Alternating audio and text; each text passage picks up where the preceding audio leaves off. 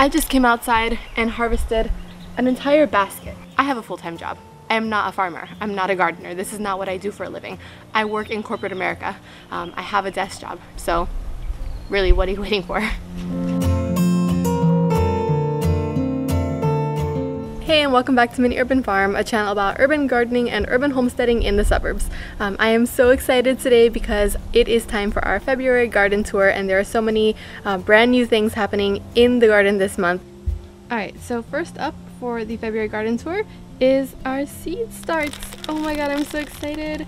Just, I think, what, a week ago or so, this was completely covered in dirt and now we have little seeds um, now if you want to see everything that I am growing, I made a whole separate video on that, um, but everything is pretty much come up.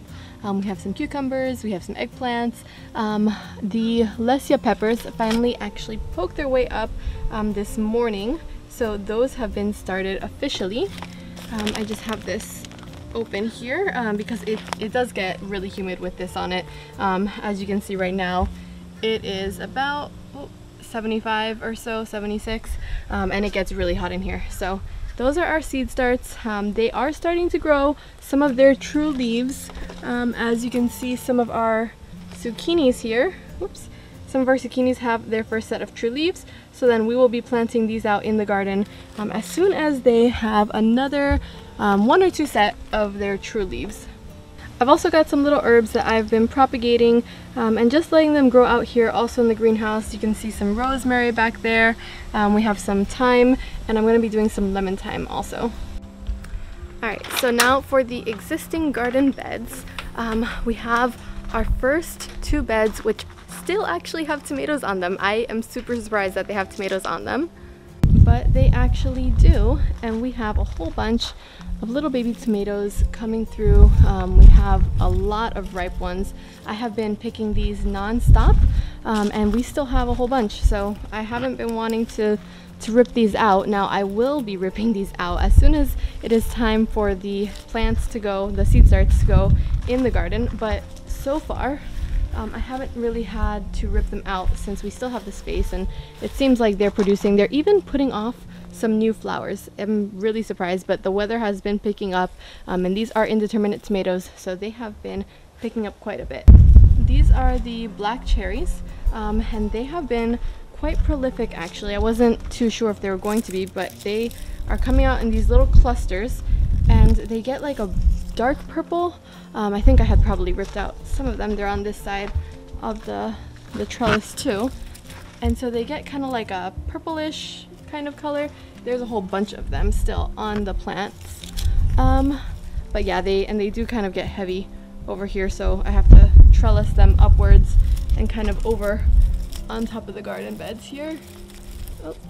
All right, and so then underneath this one, I have some spinach. It hasn't been growing too too much um, because it is getting quite warm um, but it is growing a tiny bit. This will probably end up being ripped out um, as soon as everything else is ready. I'm not too concerned about that, but I have been getting quite a little bit of lettuce here. Um, this is, I think, the red romaine lettuce, and so this is like a cut and come again type lettuce, so you don't have to harvest the entire the entire head. I usually don't plant lettuce, but the kids did not quite take to the arugula as well as I thought they would. Um, so we have some lettuce, and then this these are the the grape tomatoes as well. And you can see here there's so many of them just kind of like hanging. So I'm gonna go ahead and harvest all those right now.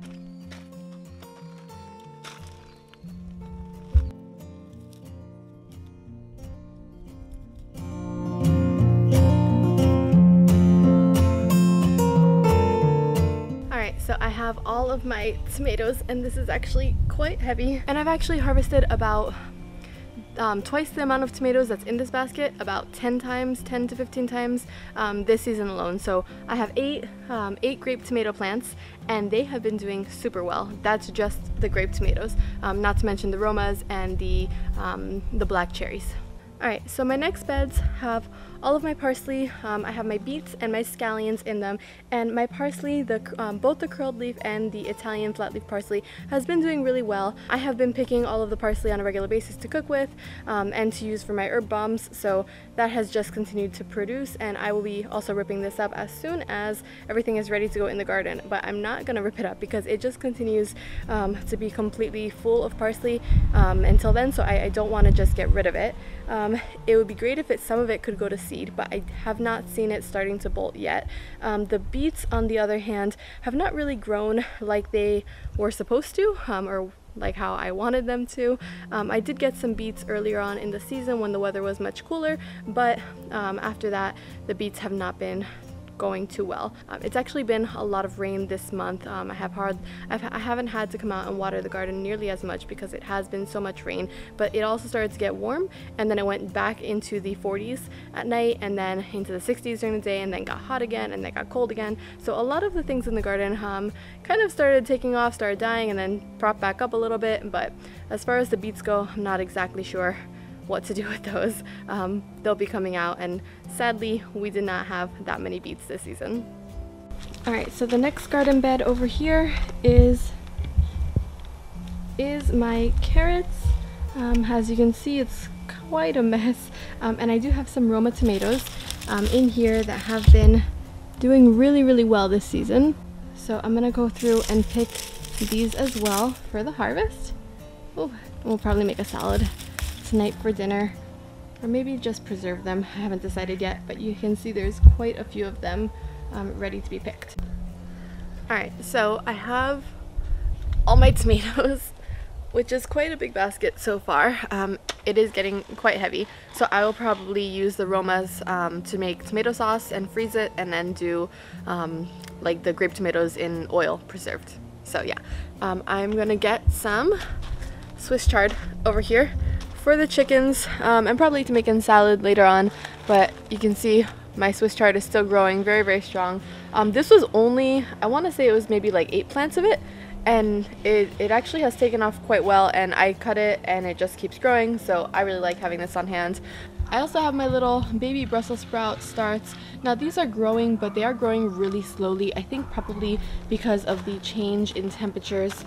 Um, it has been like cold and hot and cold and hot, so I think that they just um, have been stagnant for a little while. And the same over here, my other bed, um, with my mustard. Alright, so I had planted these out about two months ago um, to go along with all the rest of the mustard that I have, um, which is actually doing quite well but those ones never took for some reason. I'm not sure exactly what happened. I think it was probably the same thing with the cold. The arugula though is doing really really well and it's actually starting to go to seed. So you, we can see um, this is where the regular arugula is and then it started sprouting like these little flowers. Um, this one is like a little white flower so I've never actually seed saved arugula. Um, at first I thought it was like a weed that was coming up because I've never seen these type of flowers before, but no, these are actually little arugula leaves. And so, I mean, they're growing right out of one of like the bottom bottom plants here. Um, and so I'm really excited to see what that looks like. I've never tried to seed save them before, but I guess this will be the year. All right, and we have some lemon thyme growing right there. Um, this is more arugula and you can see the same thing going on with these tiny little flowers. So that's interesting the way that they've grown. I've never never really seen that before. They're growing like these little pods and I think that one is starting to open up too and then you have like these little, I don't think you can see it on camera, but they're like little yellow dots on the inside so I'm assuming that those are the seeds. Um, so that's that one garden bed completely full of arugula. On that side, um, I ripped up the ground cherry already, so that's been empty for quite a bit. But we have one little flower, um, and I think that this is a petunia, if I remember correctly. It is absolutely gorgeous. So that is our one little flower, but you can see that there are many other ones opening up here with little flower buds. And we have a whole other plant here so the petunias I actually planted out um, in fall of last year and I had them in little red solo cups and I eventually transplanted them when I ripped out the radishes out of this bed. And they didn't really take off. I think that they're probably um, like a more longer season um, flower. So I planted them out quite a bit and now finally we have one little flower. I'm hoping um, I'm just gonna leave these. I'm not gonna rip them out at all. So I'm hoping that um, as time goes on we'll get lots more of them. Um, but this is the first time I've grown petunias and I'm gonna be growing poppies next season. So let's see how that goes. And in this same bed we have the rest of our Brussels sprouts. Now I love how these look. They're so pretty. I think they look like giant flowers. So I really like these. And we do actually um, have our Brussels sprouts getting much bigger. I remember in the last garden tour we had tiny little Brussels sprouts but they've actually gotten much bigger now. There we go. And so I will be taking these off soon. Um, I have been using the leaves like I mentioned before just like to steam them um, and then do like kind of lettuce wraps even though they're Brussels sprout leaf wraps but I really like them. Um, so this has been really good. Now, I don't think that I will be planting out Brussels sprouts in the future. Um, originally, I thought through my own fault, I did some research and I thought it was going to be about three months.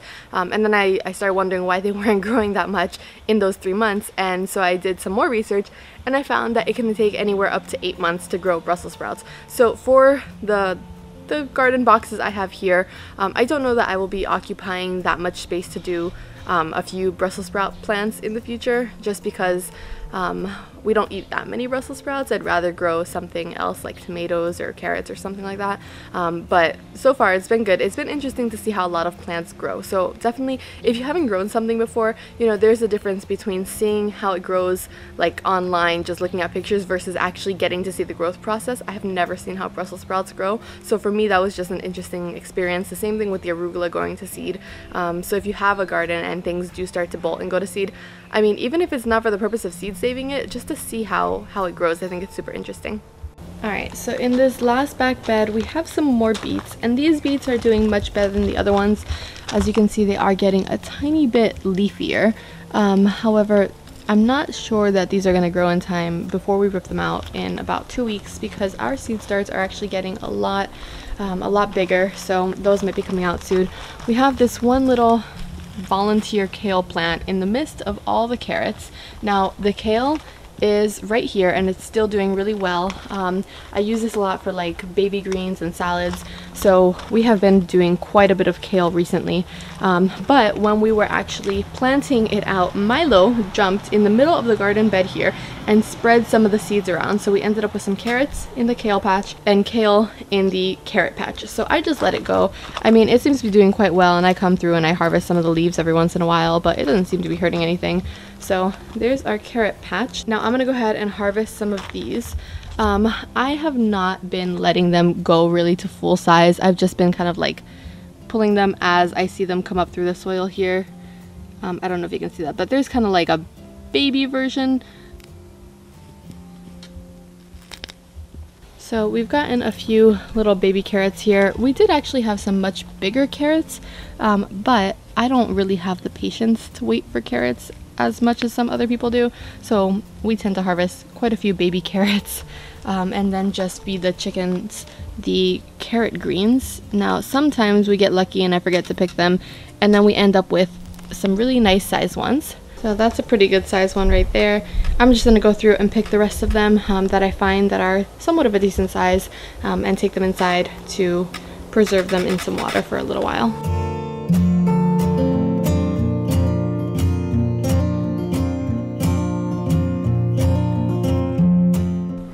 And of course while I'm out here I can't forget the chickens so I am going to just take some some Swiss chard I'll get some mustard across from me here some arugula from back there and I'm just gonna clip some off so that I can take it to them later on when we go over to visit the chicken coop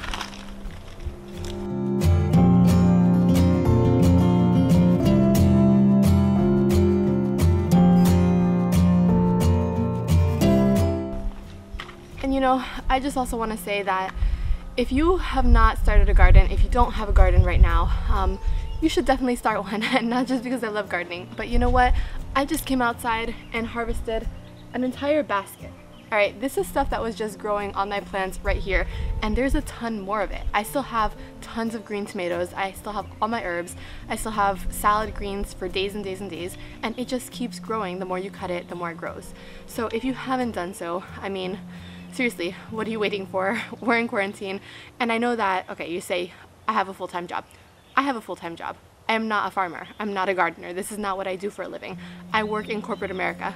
Um, I have a desk job. Granted, right now I am working from home, but I had this garden before I was working from home also. It does not take that much time to maintain a garden. So if you are serious about being healthy and living sustainably, starting a garden is step number one. Really, you need to be able to grow your own food um, in order to be sustainable. So, I mean, just take this as proof. You know, I came out here, have my coffee, and harvested an entire basket of food. So, really, what are you waiting for?